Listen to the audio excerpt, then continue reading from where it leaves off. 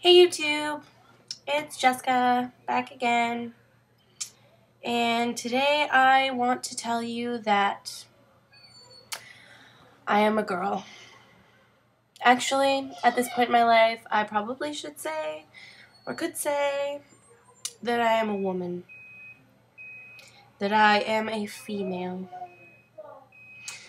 Alright, so, basically, what I am trying to say right now is that I am biologically female, which means that I was born um, with a vagina and estrogen and all that disgusting stuff.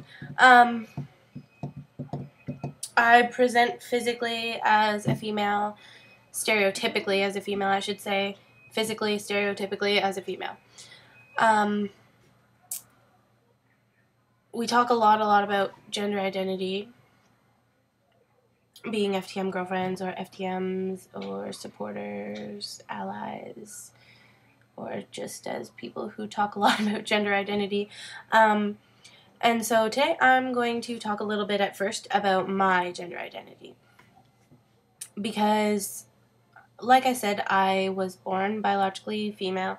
I present stereotypically female physically but I don't identify as female, if that makes any sense. Um, when I think about it, like who I am, what I identify as, I don't think that there's ever been a time in my life where I identify like as I am a woman, I am a female. And uh, it'll be interesting to see actually if you have ever done that like actually sorry my screen just went black on me. Um if you have ever actually done that like sat down and like other than if you're trans because i believe that trans people probably do this a little more often but um if you ever like actually like think of yourself as anyone other than yourself. I identify as jessica. That's my name. That's who i am. Um, I identify with decisions I've made, um, choices, things like that. But I never like never in my head do I identify myself as a woman, like or a girl, like hi, my name's Jessica and I'm a girl. Like well yeah, you can see that. I don't know. The point to all of this is that um, I think that personally, call me controversial or crazy or whatever you will, but um, everybody should just identify as themselves, um, as who they are, not as a gender. Um, I think that if people started doing that, we would be able to eliminate a lot of criticisms, stereotypes, etc. Um, for instance, my solution to the video I ranted about um, a couple days ago or a week ago or something like that um, is I'm going to create a new sexual orientation. And this is really exciting, so get ready. My new genius sexual orientation. Sexual. I said it. Sexual not bisexual, trisexual, pansexual, transsexual. I don't know, there's more homosexual, heterosexual. How about just sexual? Because unless you're asexual, everybody is sexual. And that's really all that anybody needs to know. That's really all you need to know. Um, I think that the biggest problem in today's society is not that society labels other people, but that people label themselves. Um, for instance, the video that I ranted about, this girl has it so dead set in her head that she is a lesbian, um, that she needs to be with girls. She's decided she only wants to be with girls. But what the hell does that even mean? What girls? What do you mean you're only going to be with girls? Um, what is a girl? Is that a person with a vagina?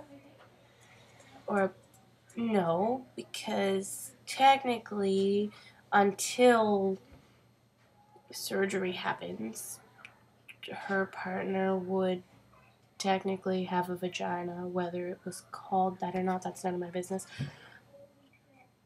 So, by saying you only date girls, do you only date people who identify as girls? Because it's his identity that's changing, how he identifies himself.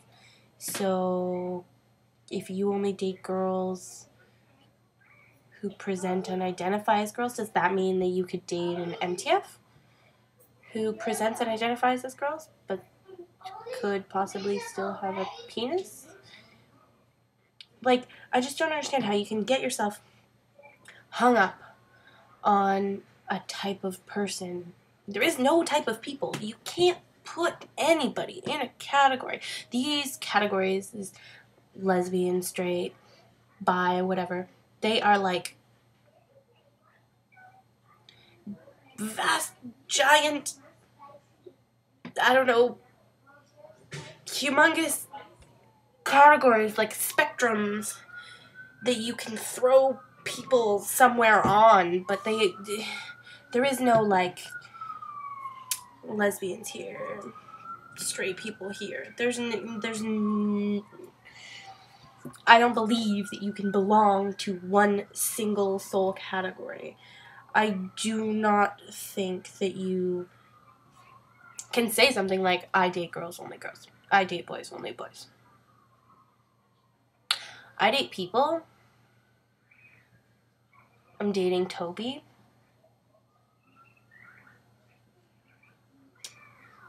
Uh, that's the only way I know how to explain it. So that's that's my solution to that. Um, let's just be sexual. Yeah, I think I th- I think it's a good solution. I think it's a good compromise. Um, everybody has their own personal tastes.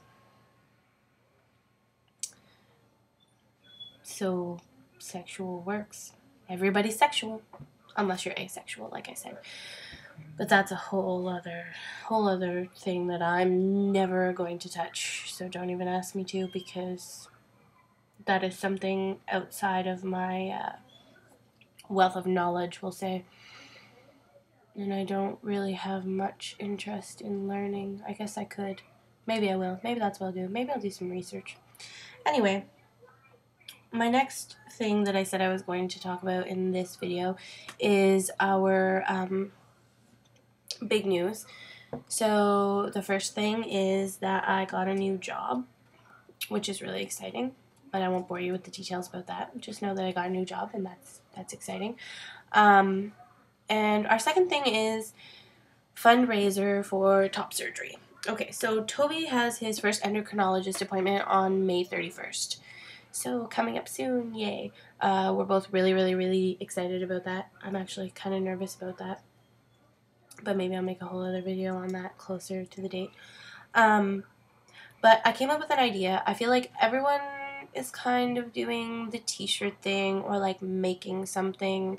Um, I don't really have any skills that I could offer you guys. Like, I could not make a t shirt to save my life. You would not want to buy a t shirt for me. Um, and that goes for Tobi as well. Like, we were like, what are we going to do? Like, everyone's stolen all the good stuff, and we can't do anything, and we don't have the money to, to do anything. Like, so I was trying to come up with, like, if I was going to fork out money to somebody to help them pay for their surgery, what would I want to get out of it? Then I got this brilliant idea. Hopefully it's brilliant. Let me know what you think. Because honestly, if like there's enough negative feedback, I'll have to come up with something new. But I kind of think it's a brilliant idea, and this is my way right now of trying to convince you that it's a brilliant idea and explain the situation to you. So, here's what we're thinking. We are going to have a website up and running. I almost have it done. It will be done by the 31st of May which is when it will officially be open, and I will announce it to you guys and give you guys the link. Um, on this website, there's going to be information, blogs, um, all that kind of stuff about our life um, and Tobi's transition. And there is also going to be a link to PayPal for you to make donations. Except that you won't just be making donations. Our very ambitious thought process here is that on May 31st it will open. It will be we will be open for donations, etc. But this is going to be a 50-50 draw. So what we are doing is we are hoping to raise enough money. Now this is like this is the super ambitious part. Now I find that most people end up raising enough money for the surgery and still having enough left over to give away. So what we're really asking is kind of a big deal. We are hoping to raise $16,000 so that we can raise $8,000 for Tobi's top surgery and so that we can draw a winner for a 50-50. So by donating money, you will be scanned a ticket um, and it will be emailed to you. And uh, then the other half of your ticket, obviously here, will go into a draw. And on May 31st of 2013, we will be drawing the winner of the 50-50. Now, if we do not have the whole other 8,000 left, the winner will receive um, however much over the $8,000 we have. So let's say we raise um, $10,000. The winner of the 50-50 draw will get $2,000 if we reach the $16,000 mark before the 31st, then um, any additional money raised after the 16,000 will also go to the winner of, sorry, my screen went black again, to the winner of the 50-50 draw. Um, it's going to take a lot of organization and like I said it's very ambitious, like to be tr- hoping to get that much money, especially when I'm not offering like a service or a product.